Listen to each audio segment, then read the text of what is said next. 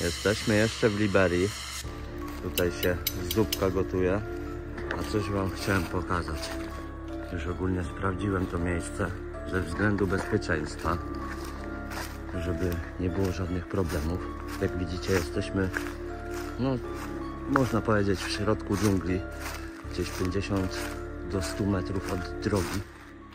Zobaczcie. Jeszcze Wam czegoś takiego nie pokazywałem.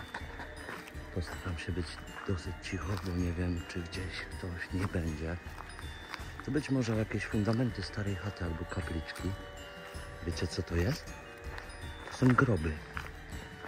To są groby, które są tu bardzo, bardzo dawno. Słyszę tam gdzieś ludzi, dlatego nie chcę tak głośno mówić. Widzicie jak to wygląda? Zobaczcie, w środku jakiegoś lasu. Nie wiem, czy tam są ciała w tych grobach. Jest to bardzo zaniedbane. Tu tak samo. No ale nie pierwszy raz już się z tym spotkaliśmy. Zapraszam Was serdecznie na odcinek.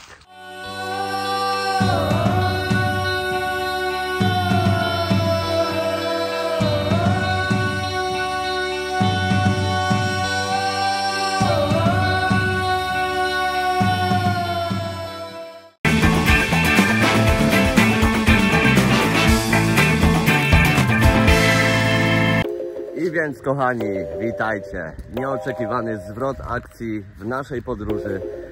Jak e, niektórzy być może z Was już wiedzą, no niestety nie udało nam się załatwić wizy do Côte d'Ivoire, ponieważ e, no wzięliśmy jedną na próbę, e, bo coś nam nie pasowało niestety i straciliśmy 73 euro dokładnie na to.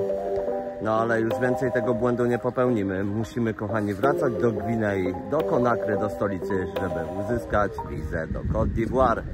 Więc czeka nas 1000 km powrotu w jedną stronę i 1000 km powrotu aż do granicy z wybrzeżem Kości Słoniowej. A dzisiaj witam Was, kochani, z tak pięknego miejsca, jakim jest ten guest house, w którym zatrzymaliśmy się żeby odpocząć oczywiście i przeczekać. A to będzie nasza miejscowa na kolejne 5-6 dni.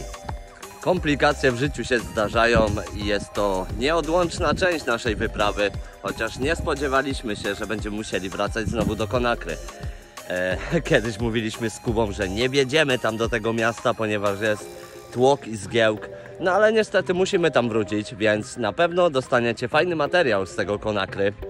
No i trzymajcie kciuki, żeby nam się wszystko udało i żeby jak najszybciej załatwić wizy i jechać dalej, ponieważ tak jak wiecie, już goni nas pora deszczowa. Wczoraj byliśmy tego świadkiem. Mega, mega mocna burza i bardzo mocno padało. Teraz będziemy testowali nasze namioty, chociaż e, na kolejne dni pogoda nie przewiduje żadnego deszczu, jedynie pochmurno, chociaż tego nie widać, prawda? Widzicie jaka jest pogoda dzisiaj. Na dzisiaj pogoda miała być e, totalnie zrypana, miało być pochmurnie. No ale temperatura trzyma się dalej od 32 do 35 stopni. Wiadomo, że w słońcu jest to więcej. Chciałbym Wam powiedzieć dobrą nowinę, ponieważ odnowiliśmy sobie nasze rejestracje, które nam ukradli w Maroko. Pamiętacie? Tak. Kuba będzie montował to niedługo na rower i pokażemy Wam efekt końcowy. Przyjdzie czas, że oprowadzę Was po tym guest house'ie i to jeszcze na pewno dzisiaj. I spójrzcie kochani, co widnieje na drzwiach. Walka z hifem. Pokażę Wam z grubsza, jak wygląda teren na zewnątrz e, tego guest house'u. Jest bardzo fajnie. Jak widzicie tutaj e, zbiornik na wodę i pompa. Przypomina mi to normalnie widoki z jakiegoś Far z gier. Teren jest fajny, duży, zabezpieczony, nikt nie przychodzi, nikt nas nie męczy. Tam w krzakach jakieś dzieciaki już są. Tu wiadomo, składowanie śmieci. Tu chyba piasek z cementem, coś chcieli tam robić. No chciałbym Wam tak z grubsza pokazać mniej więcej, jak to tutaj w Afryce funkcjonuje. Będziemy musieli się zastanowić, czy będziemy chcieli spać e, pod tamtym drzewem, ponieważ będziemy musieli szukać cienia. No i kochani, dziękuję Wam serdecznie, ponieważ te dwa ostatnie filmy, tutaj daję screenshoty, zrobiły fajną furorę dla mnie. Podskoczyło mi wszystko. Mam 701 subskrypcji. Dziękuję Wam serdecznie, że mnie słuchacie. Widać, że oglądacie z uwagą. To jest bardzo, bardzo dla mnie ważne. Więc kochani, dziękuję Wam. E, trzymajcie tak, proszę Was. Rozpowszechniajcie to, żebyśmy rośli w siłę, żebyśmy mogli zdziałać coś fajnego na tym świecie. A wracając do oprowadzania, pokażę Wam tutaj jeszcze, e, jak to wygląda dalej. Tutaj już chłopaczek sobie chodzi, e, który jest bratem szefa. I ten kompleks jest naprawdę, naprawdę duży. E, To jest tył kompleksu, gdzie można wejść, wywiesić pranie. E, A później zaprowadzę Was e, do naszego pokoju. Jak wygląda? I od razu Wam mówię, za pokój zapłaciliśmy 15 dolarów. E, Wzięliśmy go z tego względu, żeby naładować wszystkie baterie, ponieważ wczoraj nie byliśmy jeszcze pewni, że istnieją takie rzeczy jak kontakty na zewnątrz. I powiem Wam szczerze, że noc w namiocie kosztuje 5 dolarów za dwie osoby, więc lepiej jest wziąć sobie namiot, rozłożyć w takim guest house'ie i po prostu e, macie możliwość korzystania z prądu i e, możecie poprosić oczywiście o to, żeby wziąć sobie prysznic. A później pokażę Wam, jak ten prysznic wygląda.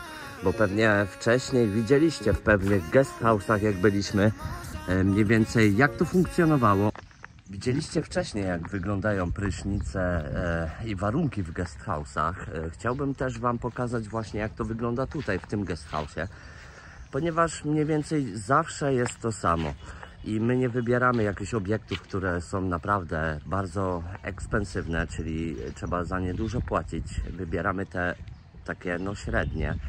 Jakość usług jest naprawdę dobra. Spójrzcie jaka propaganda jest tutaj w telewizji, nie? Spotkanie w jakiejś chacie, nie? Patrzcie tu. Spotkanie na wiosce i normalnie dają to w TV, nie?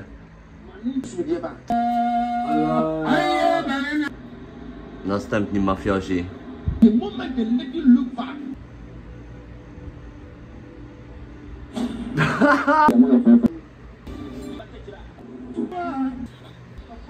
już demony ją opętały, nie? I będzie jej piana z papy leciała, nie? Uciekaj, diable. Dobra, kochani, dosyć prania kalafy z tą telewizją. Pokażę Wam nasz pokój.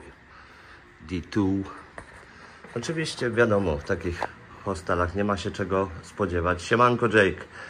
No, tutaj jak widzicie, standardowo jest stolik, szafeczka, krzesło, łóżko, o dziwo mamy telewizor, mamy e, wentylator, a tutaj jest kibel. I zobaczcie, o tym chciałem Wam powiedzieć. To jest zbiornik na wodę i prysznic wygląda tak, że nalewacie sobie wody do tego wiadra i po prostu się taką małą fuchelką, która jest tutaj, sorry za jakość, tutaj nie ma na razie e, światła, oblewacie się, spłukujecie. No i tak to jest, tak to jest w Afryce właśnie. Ta, to Wam chciałem pokazać. Na pewno wcześniej Wam pokazywaliśmy takie rzeczy, ale teraz macie to z bliska. No, więc jest ok, nie? Jest ok. Dobra, kochani, teraz zabierzemy Was na naszą część dnia i pokażemy Wam, gdzie będziemy jedli, jak się tam będziemy poruszać. Ponieważ dzisiaj nasze rowery stoją, Powiedzmy, żeby sobie odpoczęły, a my wybieramy się na miasto, kawałek stąd do pewnej knajpki, która jest najtańsza w tym regionie jak na razie. Idziemy do lokalnej drogi, żeby złapać transport na miasto. Tu już mamy ziomeczka, którego zawołaliśmy. Ciśniemy.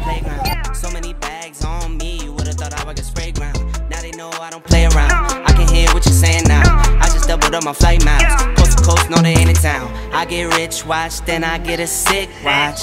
Watch me hit the top, I might make a TikTok. Left hand, right hand. Catch the latest trend, I might double up my net worth. I've been going up now, see the top going down. If you didn't know now, know you know now. Best cause he could go on top, you not really top. You keep saying top, well I guess you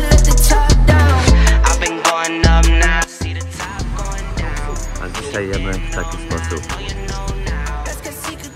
Tak wygląda knajpa w środku. Tu będziemy siedzieć. Ta kobieta zaraz nam przyniesie jedzenie. A przed Państwem danie mistrzów. Pozdrowienia od Jacoba.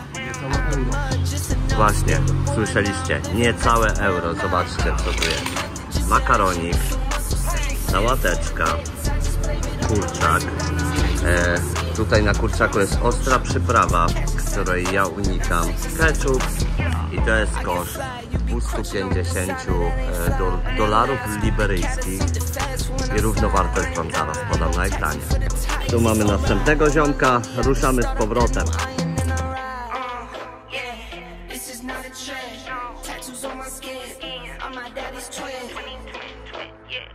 I'm a businessman, just like said.